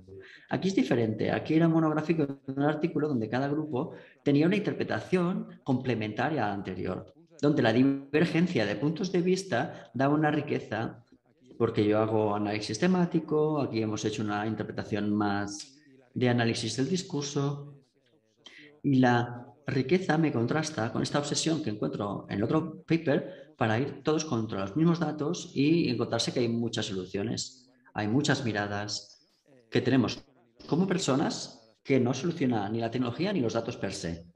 Por lo tanto, no quiero forzar las tensiones porque creo que las complementariedades, volviendo a ese ciclo de dónde han salido los datos y las personas involucradas se sienten reconocidas cuando esto pasa después a manos del algoritmo, o de identificar correlaciones, cosas que son muy potentes. Y luego el punto de, de retorno, que es más el tema de la comunicación de la ciencia. ¿Cómo podemos decir que esto ha repercutido en que las personas que se sienten que forman parte de esos datos, aunque sean un uno entre millones, creen que es acertado, que representa la realidad. Buscar estas complementariedades o esta mezcla de métodos cualitativos y cuantitativos no es una cuestión de seleccionar cosas y ponerlas ah, porque suenan bien, sino porque es algo mucho más complejo. Eh, eh, a mí me gustaría eh, compartir dos, dos, reflexiones acerca de de todo esto de la revolución digital y, y, que puede hacer los posicionamientos feministas. Y es que eh, la primera, que ya la han comentado de alguna manera eh, tanto Bárbara como, como María, era eh, que lo digital per se pues, no es ni bueno ni malo, ¿no? O sea, es el uso que se le dé, es el contexto en el que ha aparecido, nos comentaba María lo de los, eh, en el contexto militar, la herramienta que ella va a utilizar y ahora, sin embargo, el uso que le va a dar ella es totalmente diferente. ¿no? O sea que al final, pues eso, esa tecnología tiene una, utilidad que puede ir en favor de aquello que decimos que es la sostenibilidad de la vida, ¿no? de, eh, y, sin embargo apareció en un contexto totalmente diferente. O sea que a mí me encanta eso de que nos apropiemos porque eh, está ahí el valor de eso, eh, eh, qué valor le vamos a dar nosotras, ¿no? desde nuestras posiciones, desde nuestros planteamientos y éticos, etcétera, o sea, cómo se va a, reutilizar ¿no? este, esta tecnología. Entonces, primero, eso, ver que, las, que, tenemos que hacer este ejercicio de no eh, demonizar nada a priori, sino de eh, apropiarnos para darle el uso eh, que, que, es beneficioso para todos. ¿no? Y, luego otra reflexión que eh, escribimos este paper en Dimons eh, sobre las eh, perspectivas feministas, perspectiva de género en el análisis de la, de la, economía digital. Y una de las primeras cosas que lo comentábamos con Mayo era que hay muchísima muchísimos artículos que hablan del análisis de género de la economía digital o de las nuevas tecnologías. y, y yo vi mucha osadía mucho, o sea, como que, para que nos entendamos, como que cualquiera hace un análisis de género de esto, ¿no? Y yo vi que había una carencia teórica en cuanto que, eh, pero ¿a, qué te estás refiriendo exactamente con este análisis de género, ¿no? Eh, porque mm, iban, eh, la mayoría de ellos se ubicaban en este, este, este que comentaba antes de la economía del género, en, en participación, o sea, que haya mujeres en lo tecnológico, desde en toda en, toda la cadena de valor, ¿no? desde, desde las programadoras, desde las usuarias, desde las eh, pero sin hacer ese cambio, esa apropiación de lo tecnológico para otros usos, de otras maneras, etc. Y entonces, desde esta posición acrítica eh, que pienso que es porque quizás a lo mejor posiciones más críticas dicen, no, es que lo digital no va con nosotros porque nosotros ya a priori esto eh, va en contra o, sea, o, no nos parece que es adecuado, pues precisamente como están estas posiciones críticas fuera, pues eh, las que participan del discurso son posiciones más dentro del, paradigma dominante y que... Y entonces, eh, una de las cosas, por ejemplo, que se, se abordan más, que puedes encontrar más documentación, es el impacto positivo que tiene la digitalización en eh, las formas de trabajo para las mujeres. Porque ahora como con el teletrabajo pues vas a poder trabajar desde casa y tienes la flexibilidad eh, física y la flexibilidad horaria. Por lo tanto, pues eh, perfecto porque ya puedes conciliar, no puedes, o sea, ya el problema de conciliar ya no existe, ¿no? Ya puedes conciliar y además, pues entonces ya, mm, bueno, pues podrás participar en, eh, no, no, no, te vas a, a, pedir reducciones, porque, etcétera, etcétera. Esto ya sabemos que es un, un análisis pues bastante... Eh, simplista y erróneo, porque eh, la, lectura que podemos hacer es que a lo mejor esta flexibilidad eh, de tiempos y de espacios eh, es la versión, yo digo, 2.0 de la doble, triple jornada laboral. O sea, ahora ya no es doble o triple jornada laboral, ahora es la simultaneidad de las... Y, y lo profesional y, lo personal consecuencias que hemos tenido, después de la pandemia, que se han evidenciado con la pandemia, es eh, el nivel de ansiedad de, es que llega la vida porque mm, y estabas en casa, ¿no? Sí, pero es que no hay espacios, no está, no hay eh, eh, tiempo para el descanso, para el ocio, no sé qué. O sea que y, y, entonces esto, gracias a la pandemia o por culpa de la pandemia, luego se ha visto y sí que ha habido estas reflexiones más críticas, más feministas, pero a priori lo que encuentras de, de antes del 2020 es que, guau, eh, todo eso, a nivel eh, de, conciliación para las mujeres va a abrir una puerta. Y creo que es porque faltaba esa visión crítica que, bueno, luego sí que la hemos tenido.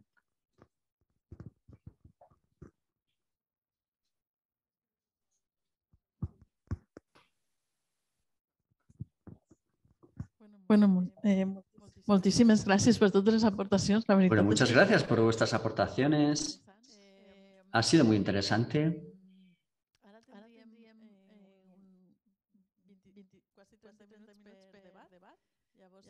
Ahora tenemos 30 minutos para hacer un debate. No sé si las personas que queréis intervenir presencialmente o a través de Internet. Puedes decir tu nombre y también quería comentar, no sé si finalmente nos ha podido acompañar a Joana Brebolar de la, la experiencia de la Escuela Popular Ecofeminista. Que sí que es cierto que los otros seminarios hemos tenido ah, voces académicas y no académicas y en este caso ha sido más académico pero sí quería hablar de la importancia de que en esta reflexión pues tengamos experiencias como la de la escuela popular que no necesariamente aplican metodologías eh, feministas, sino también las de la universidad.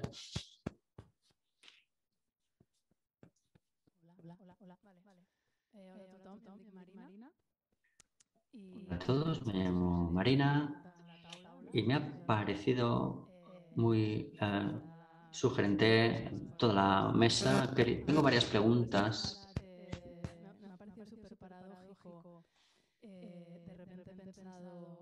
Mi pregunta va, perdón, es que mi pregunta va, un poco mi obsesión es cómo aterrizamos el paradigma de la sostenibilidad de la vida eh, en esta realidad tan, tan, tan contradictoria. En mi caso particular, eh, que sí que soy investigadora, pero precaria, o sea que hablo desde la academia, pero hablo también desde mi experiencia vital en otros, en otros ámbitos.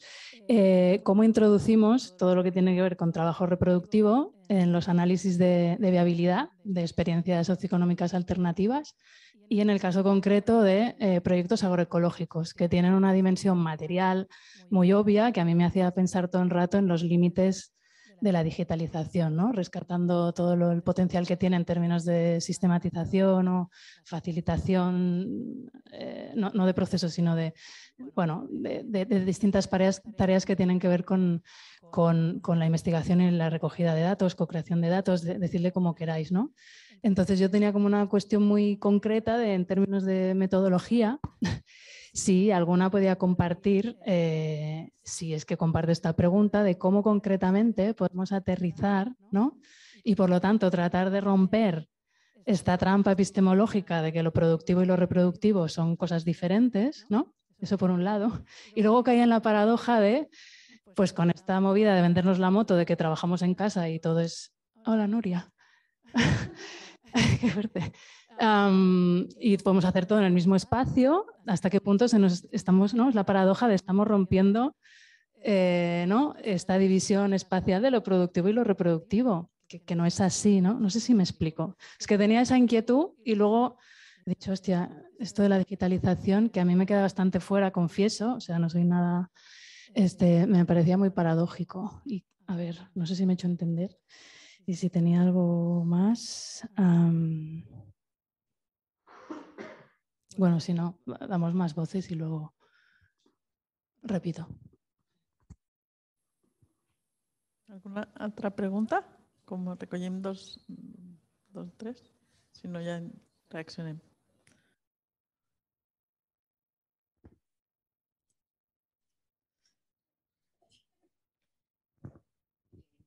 A ver, respecto a la primera pregunta que decías de lo metodológico eh, y en tu, eh, con tu ámbito de estudio, yo estaba pensando en Ricard, que se dedica hace temas ¿no? de, de, de, soberanía alimentaria, de cooperar, que quizás a lo mejor, no sé, ¿eh? se me ha ocurrido que quizás a lo mejor tú podrías, en este caso, eh, ayudarle. Eh, respecto a la segunda pregunta, yo creo que es que hablar de que del teletrabajo y de que estando en casa haciendo vida eh, cotidiana y trabajando, eso no era romper la dicotomía producción-reproducción. Y tenemos que dejarlo muy claro de que no, no, no es eso, no se trataba de eso. O sea, eh, porque, porque eso eh, sabemos las consecuencias que tiene psicosociales en, los cuerpos de las, o sea, las personas que, que estamos verdaderamente agotadas y algunos, pero que romper esta dualidad de lo productivo y lo, de, y lo reproductivo va mucho más allá ¿no? de, de, que es incluir de manera, pues por ejemplo, los, los costes ¿no? que suponen algunas tareas reproductivas en lo productivo, ¿no? que no esté totalmente fuera del, del sistema. Yo creo que, bueno, eh, no sé, las que lo hemos vivido, ¿no? creo que lo tenemos claro que eh, la el teletrabajo desde luego no es romper el, el, paradigma productivo reproductivo. Y, y, la primera pregunta, ya te digo, no sé si Ricard puede ayudarte o o, le pongo en un marrón. yo desde luego no, no sé si otro compañero.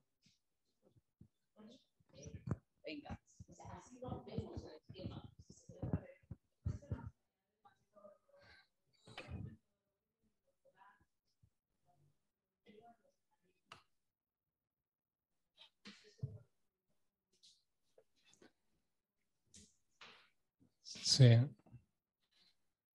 Bueno, no, no, sé si te voy a responder a, a cambio català, que diré més ràpid. Uh, no sé si respondré bé al, al...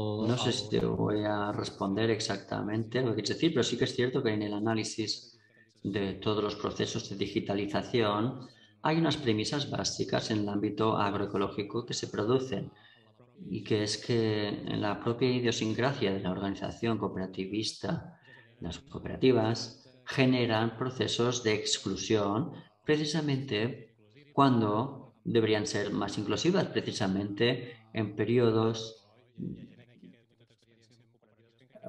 y hay gente aquí que ha tenido experiencias en este sentido que podéis eh, um, reforzar esta opinión. En periodos donde hay niños pequeños que hay que cuidar o personas eh, en el paro. En realidad, hay una dicotomía entre un proceso que tiene un elemento económico que está asociado a la alimentación con elementos de uh, cuidados, situaciones delicadas, en que resulta excluyente y esto se debe a la propia organización. La capa digital eh, aquí no es significativa, pero sí que es cierto que los elementos productivos y reproductivos de las cooperativas de consumo agroecológico, y aquí hay gente que lo ha trabajado mucho más, como la gente de Aresta, lo han puesto muy de manifiesto y creo que es un elemento muy interesante.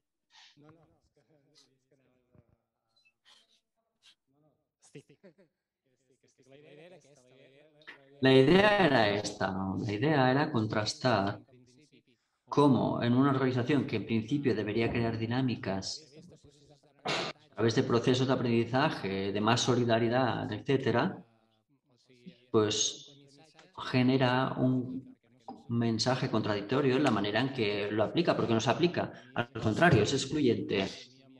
Y para mí siempre ha sido una gran dicotomía, igual que si en otros ámbitos adoptáramos software privativo cuando los valores abogan por un software más vinculado a elementos de la economía social o los comunes, que a mi entender sería una perspectiva mucho más feminista.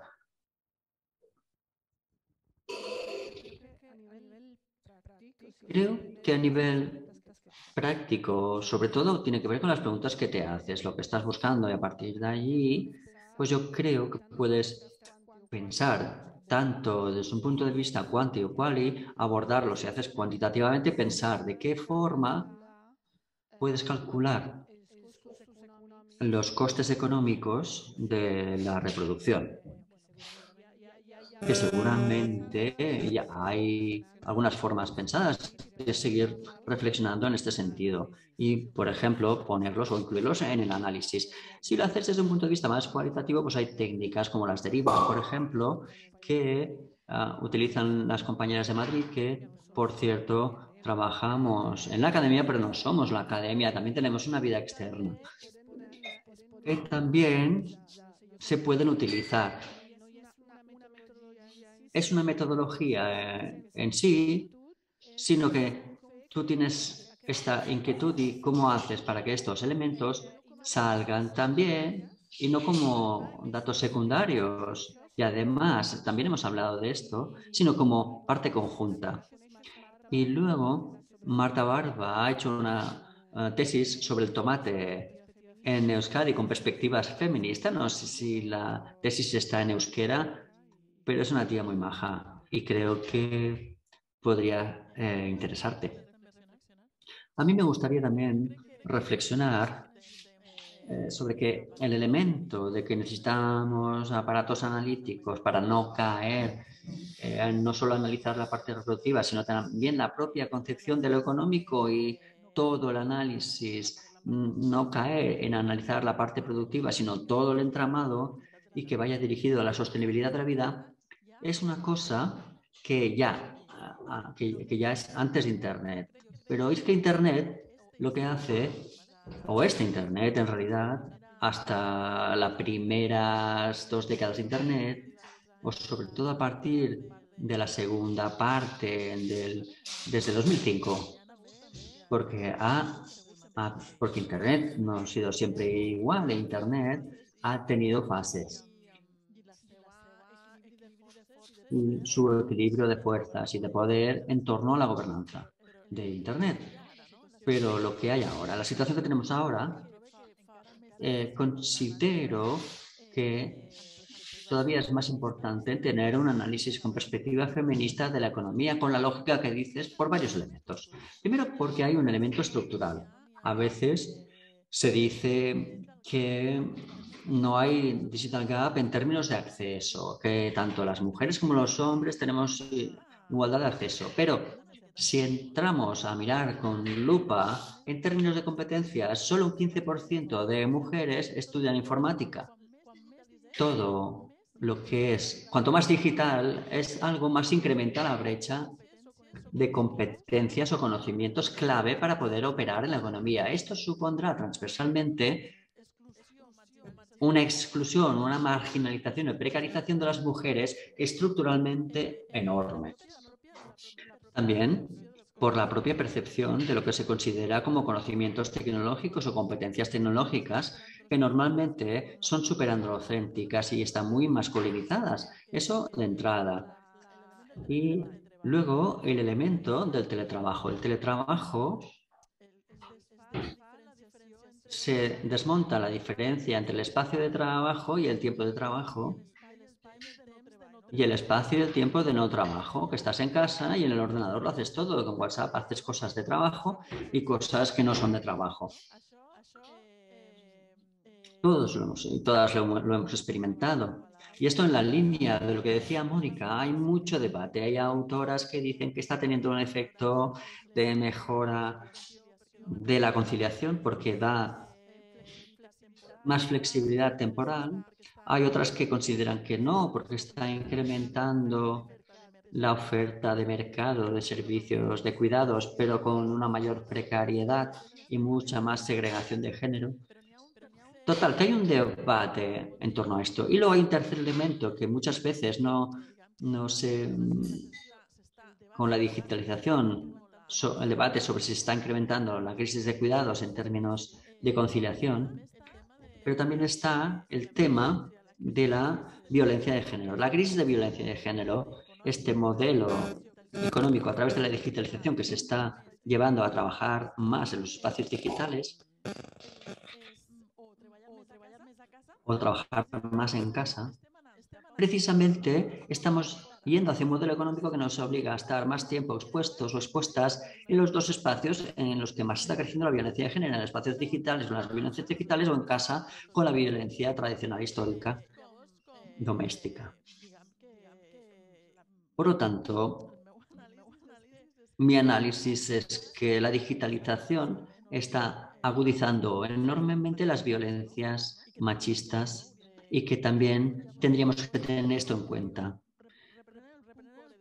Retomando el punto central de lo que quiero decir, si antes ya era importante acercarse eh, a un análisis que tenga en cuenta lo productivo y lo reproductivo y el análisis que pone la economía al servicio de la vida, con la digitalización todavía es más importante acercar estos dos análisis. Sí que creo que es más difícil. Tenemos una teoría, un análisis de la economía hacia el, al servicio de la vida, pero una tecnología al servicio de la, de la, vida no lo tenemos tanto porque la tecnología la concebimos como una cosa más neutra.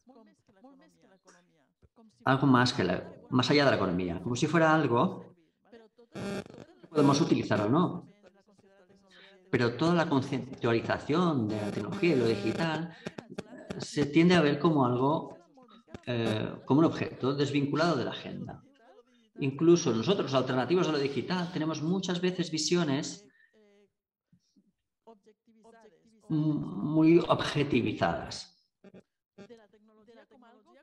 de la tecnología como algo que puede existir independientemente de la agenda que haya o de las consecuencias que pueda tener.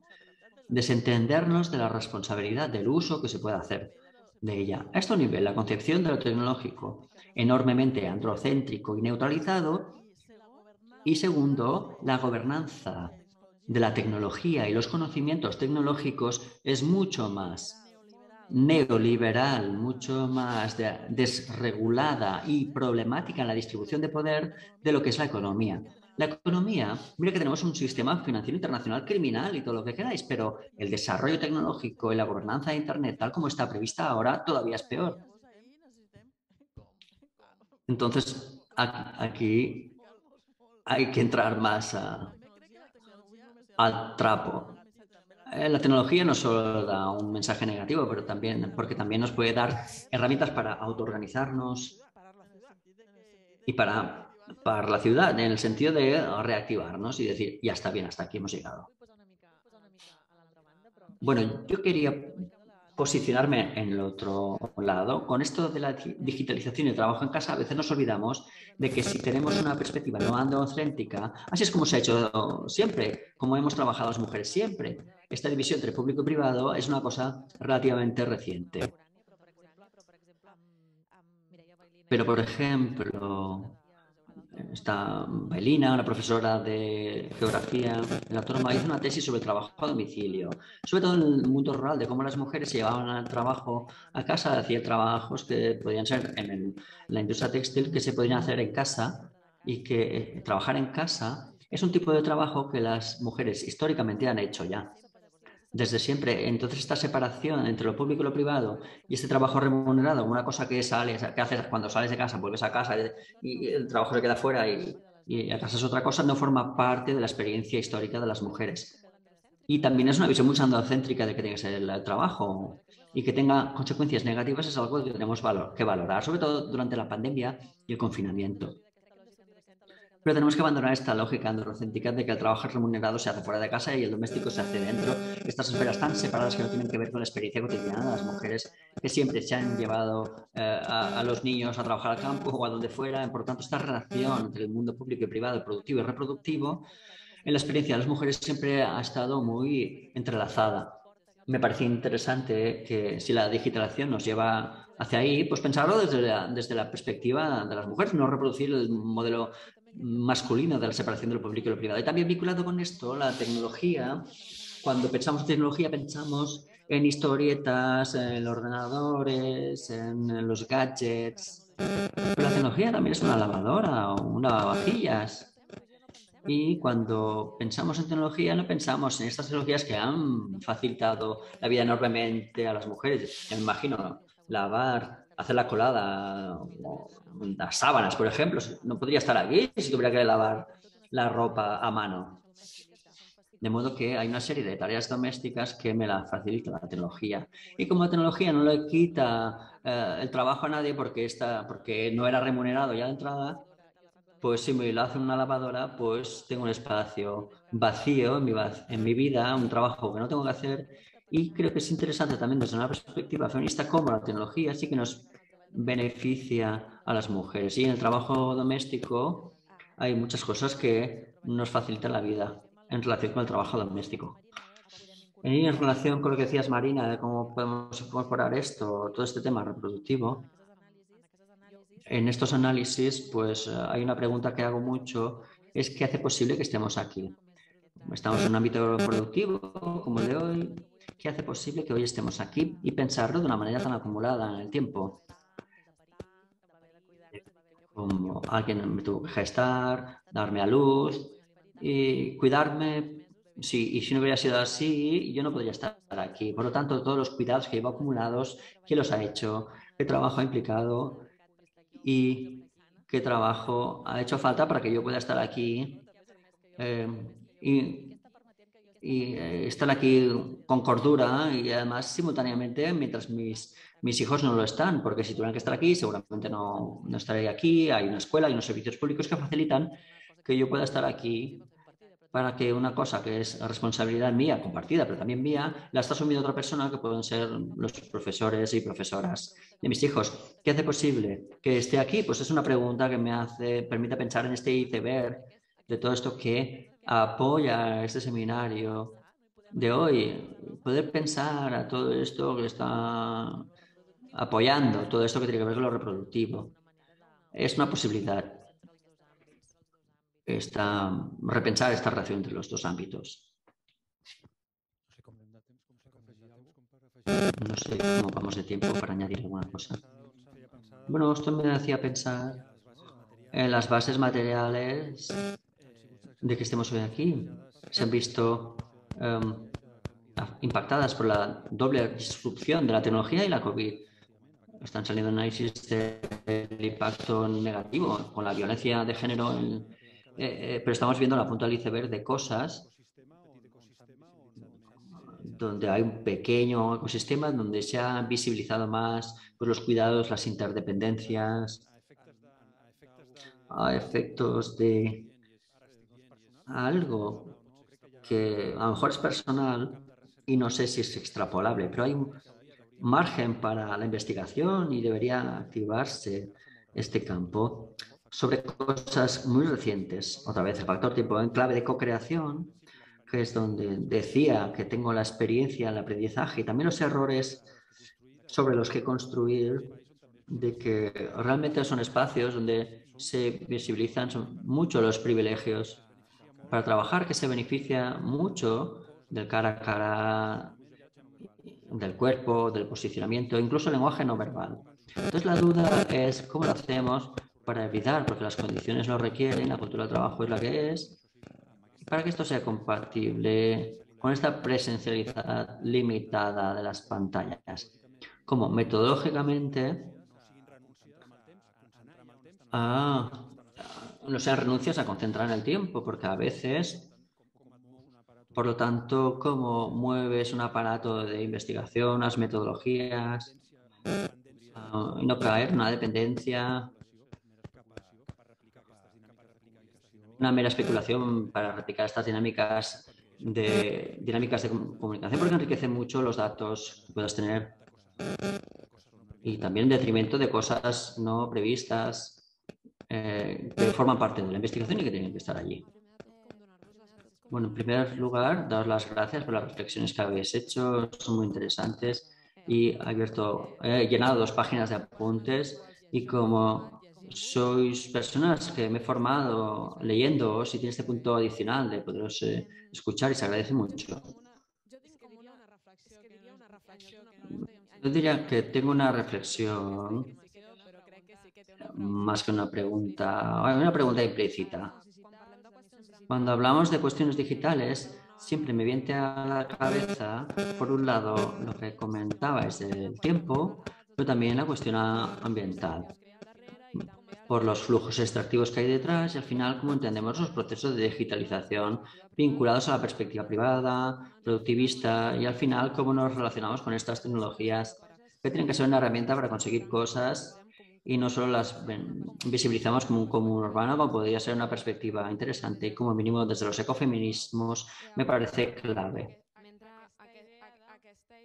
Esta idea de las lavadoras nos han facilitado la vida, nos facilita muchos procesos de nuestra vida, pero tenemos que tener una lavadora a todas las personas en nuestra casa, tenemos que plantear que sea una cosa compartida. Pongo el ejemplo de la lavadora, que es un poco siempre, siempre comento, ¿no? Pero Internet, ¿cómo acceder? Hemos acostumbrado a tener un ordenador en casa y que este ordenador tenga una obsolescencia programada, tenga una mejora tecnológica cada X tiempo. Pero también sabemos que hay unas limitaciones físicas y de materiales vinculadas a esta extensión tecnológica. ¿Cómo hacemos que la llegada de estas herramientas no se produzca desde una perspectiva eh, individual, sino que sea colectiva y que tenga en cuenta los límites duros? Porque en estos momentos ah, tienes un disco duro y crees que en tu disco duro cabe todo, pero seguramente acabas teniendo muchos discos duros a lo largo de la vida, será un conocimiento que acumulas para ti. ¿Y cómo hacemos que estos, estas bases de datos se compartan, estén desmercantilizadas y que se entiendan como a lo mejor volver a tener un ordenador en la biblioteca y hacer un, hacer un uso común? ¿Cómo hacer que eh, eh, cómo hacer estas vinculaciones? No sé si se me entiende.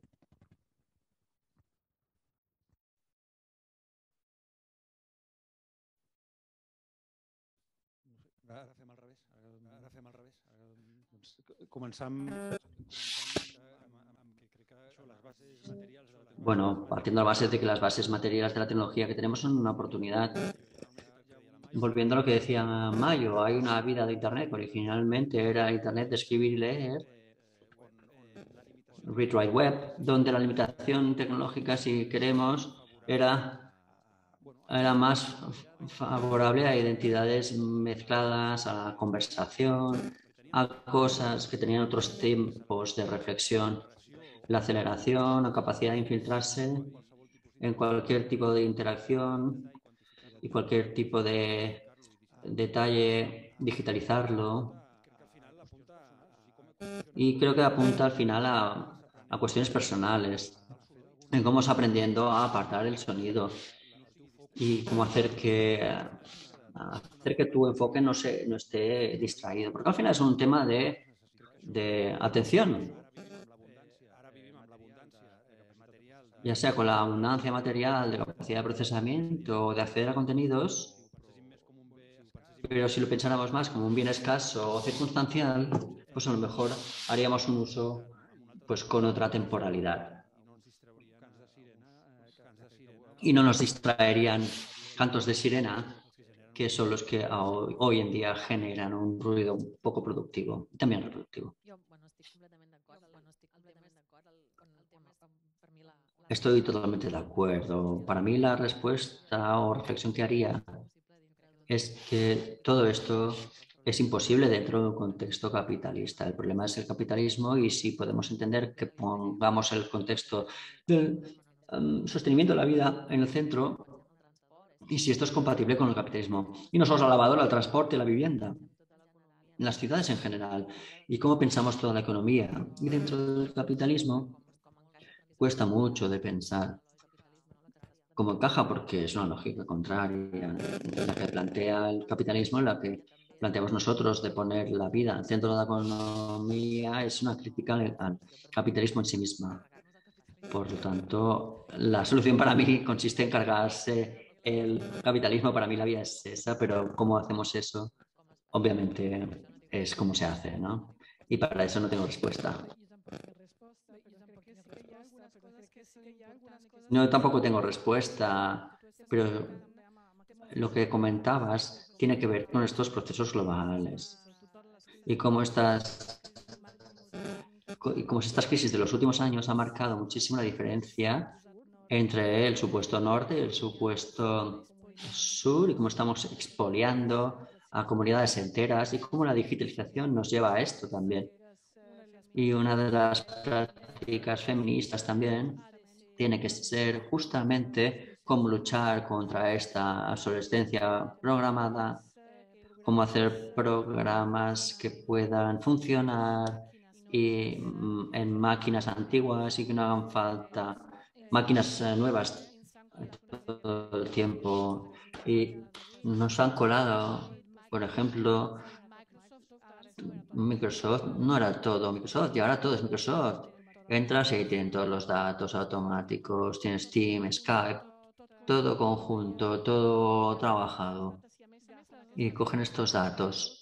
Y además, nuestras universidades pagan un dineral por esto cuando habría soluciones mucho más económicas de código abierto y como investigadores que estamos en estas en esta situación, las universidades tendríamos que luchar desde la universidad para que no sea así. Y lo que decías antes sobre los datasets comunes, para hacer investigación te pagan por producir, y aquí está la obsolescencia de los datos, para producir datos nuevos, pero no puedes tener dinero y tiempo para analizar datos que ya están. Y esto es una pérdida impresionante, porque si podemos compartir datos cualitativos y cuantitativos mundialmente y hacer análisis más en profundidad sobre estos datos, pues surgirían cosas fantásticas. En cambio, muchas veces has tenido tiempo de analizar la mitad de los datos que has producido con tu investigación y tienes que ir a otra investigación porque si no, las personas precarias se van a la calle y tienes que buscar dinero para tener nuevas becas y esto impide que se utilicen estos datos. Por lo tanto, la lógica de la obsolescencia programada también está en la investigación. Y también tenemos que pedir que nos den la posibilidad de hacer investigación con datos que ya tenemos y que ya están ahí que pueden dar todavía, proporcionar todavía mucha más información. Bueno, para terminar, agradecer a todo el mundo. Ha sido un debate muy enriquecedor y quería reaccionar a este elemento de Internet o el potencial de Internet pro común. Demons, el grupo de investigación Demons, significa Digital Commons, no es casualidad. De hecho, las nuevas tecnologías de Internet han supuesto una nueva ola de eh, procomunes. si tenemos los procomunes históricos, naturales, con la lógica de la escuela de Ostrom, ahora tenemos toda esta ola de posibilidades de que el procomún no sea un tercer modelo aislado, sino que esté en el centro de la economía. Que no sea mercado y procomún como el pequeño, sino que esté en el centro. Esta es la gran hipótesis de todo de todo lo digital, de todas las teorías digitales. Y lo comento porque antes he hecho una exposición muy negativa, pero está toda esta posibilidad de generar procomún a través del proceso de digitalización. En estos momentos concretos estamos en un cambio de época muy grande. En estas décadas actuales estamos sufriendo una, una, una una búsqueda del procomún. Ahora hay esta búsqueda, como lo que había antes, del procomún digital, de todo el potencial de conocimiento abierto que apuntaba Bárbara, que genera y que ahora las grandes corporaciones están intentando cerrar.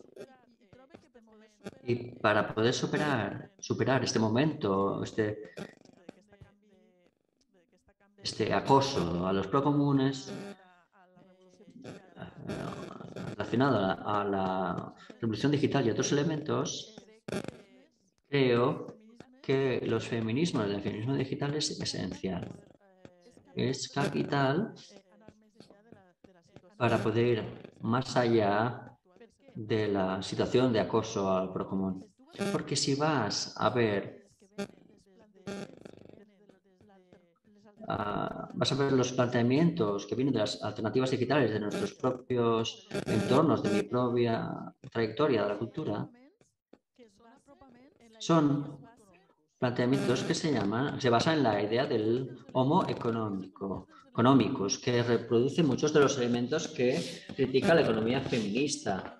El homo, homo, homo economicus, que solo puede ser con una tecnología digitalizada, descentralizada, perdón, y así todo el mundo podrá ser autónomo y operar de manera descentralizada porque el blockchain y los DAO permitirán liberarnos de las dinámicas de poder porque la tecnología por sí sola nos dará una posición de autonomía eh, personal. Estos son los planteamientos que hay en las vertientes alternativas. O no hay ningún elemento de homo económicos con un análisis de la reproducción social, no hay análisis de la sostenibilidad económica, casi no hay perspectiva ecológica de las discursos alternativos de lo digital y por todos estos elementos creo que verdaderamente hay una combinación potente de incorporar la perspectiva de las teorías feministas para poder desbloquear este acoso del procomún digital en el que nos encontramos ahora y espero que el Congreso sea un, granito de arena entre todas para poder hacer frente a esto. De la lógica de la tecnología al servicio del Congreso, no lo he mencionado antes, pero escuchando a María en este, eh, con este elemento de las neutralidades que se nos cuelan, bueno, que no el congreso será presencial, sobre todo, sobre todo presencial en Barcelona, pero habrá la posibilidad de participar online, sobre todo para aprovechar la expansión que ha habido del congreso en Latinoamérica en el anterior consejo que fue, congreso que fue online. Animamos mucho a contribuciones de Latinoamérica y otros continentes al congreso a través de esta vía. Contaremos con traducción de catalán a castellano. Hoy hay traducción eh, pero durante el Congreso también habrá. Y también durante los eh, días laborales del Congreso, el jueves y el viernes, habrá ludoteca a demanda y el sábado, que es horario no escolar, habrá actividades para los niños pequeños. O sea que se han tenido en cuenta otras edades. Muchas gracias.